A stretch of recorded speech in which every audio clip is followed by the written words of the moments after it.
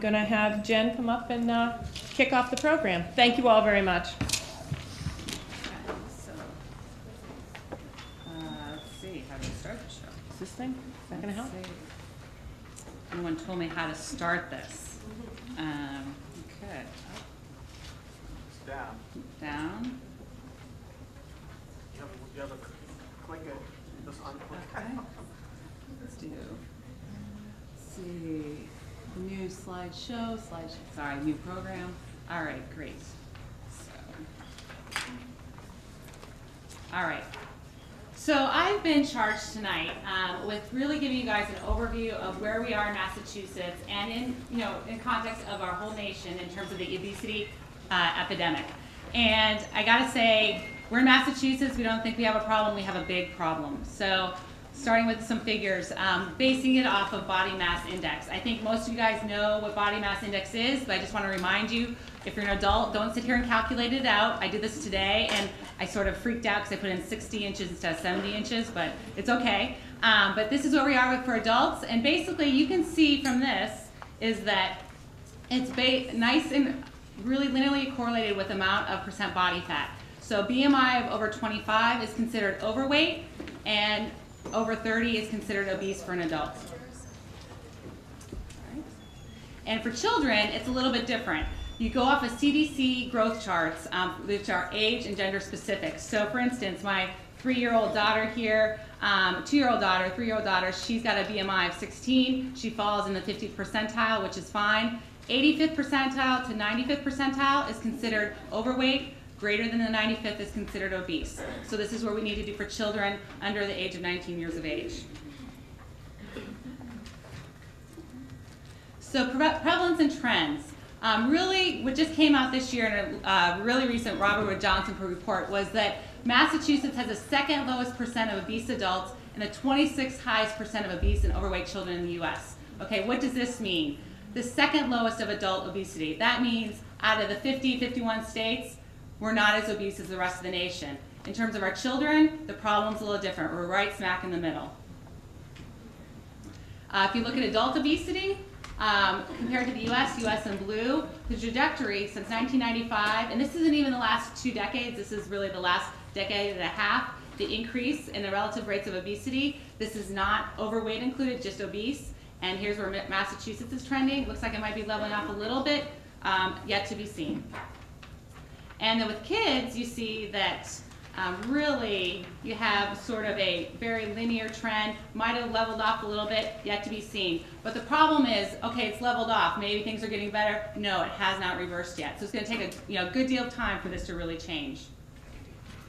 Uh, looking at the nation, I think most of you guys have seen one of these CDC maps on looking at the relative rates of obesity, and this is in kids aged 10 to 17 years of age.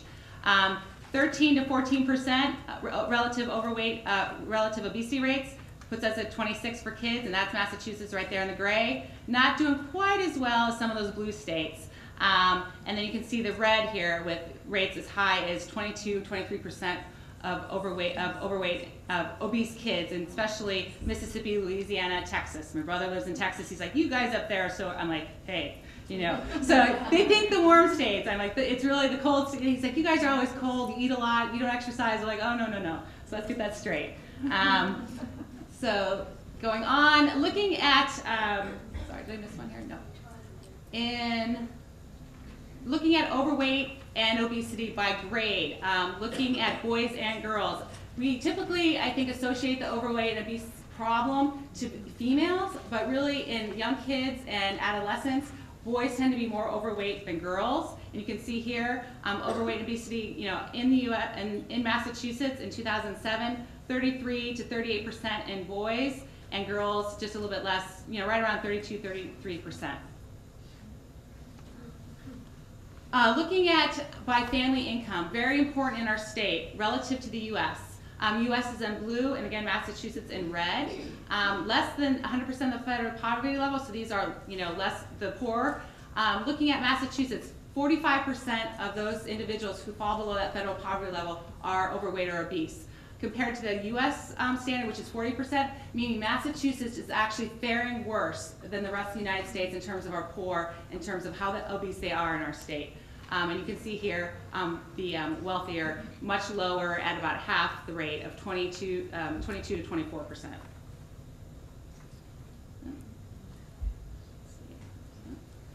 And looking at uh, racial and ethnic disparities, just one example, looking at our Hispanic children in our state relative to the United States population.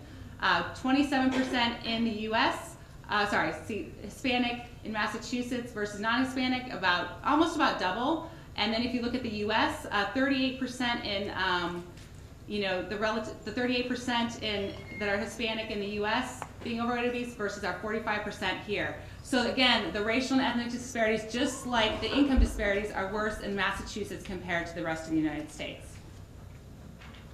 Uh, causes of obesity. So we've got the stats. We know there's a problem. What is causing it? I think there's a lot of things out in the media now about what is actually causing it.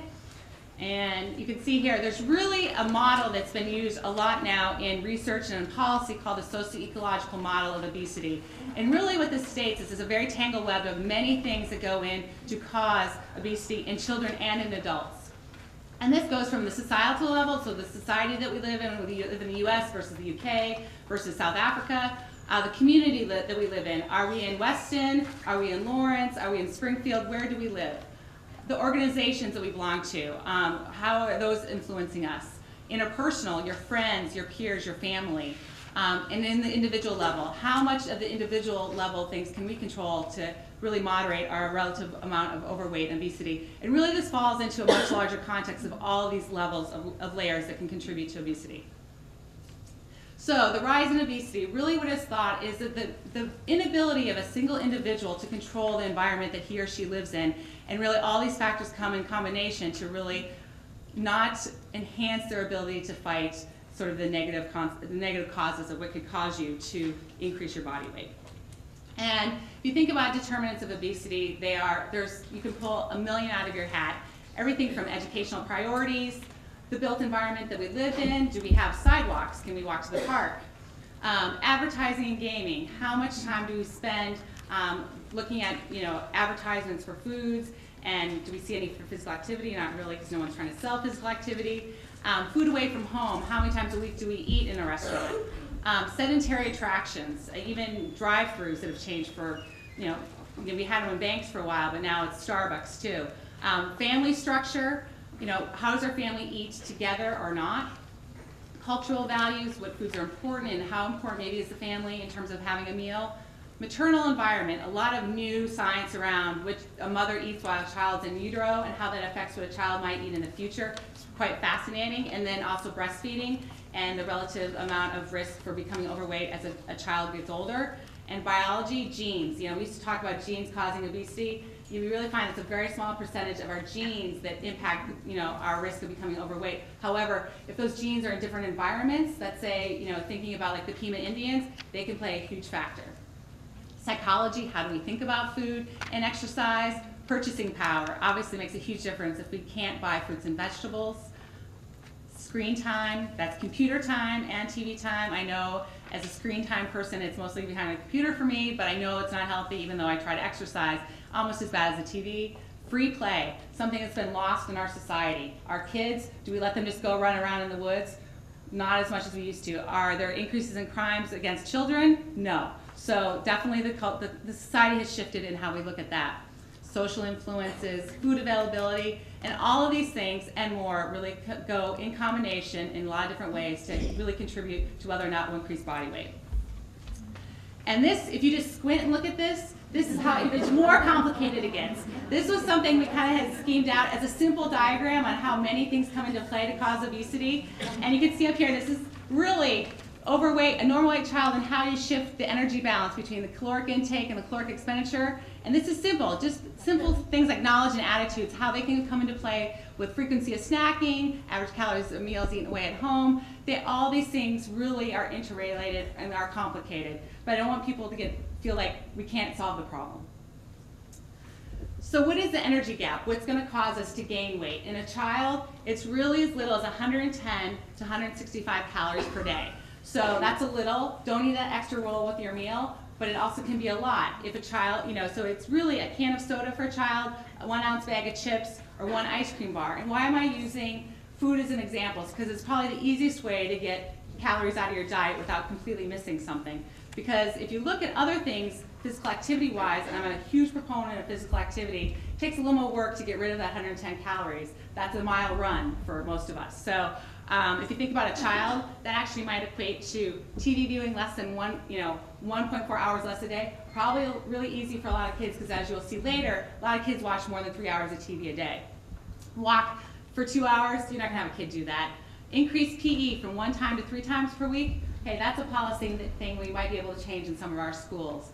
Uh, for example, removing sodas just from the cafeterias in Boston high schools decreased caloric consumption by 35 calories a day. That's not even looking at how much they consume, per, you know, how many sodas they consume, but they just, that machine was not in their environment. So things can make a difference. Little things like that will add up. So poor nutrition. Adults. Um, adults who have consumed five or more fruits and vegetables per day. For those of you who don't nutrition, that's how many you need to consume or you should consume for a healthful diet. And fruit, fruit and vegetable intake is a real marker that's used a lot in nutrition for general nutritional intake and health. And what you can see in terms of adults, only about, you know, 27% consume five or more uh, fruits and vegetables per day in Massachusetts, and that's very similar to the rest of the U.S., so that's quite shocking. Um, kids, looking at the different food groups and what they actually should consume, and you can see here, dairy, this is the number that we actually consume, and the bar is actually the range that they should be consuming in.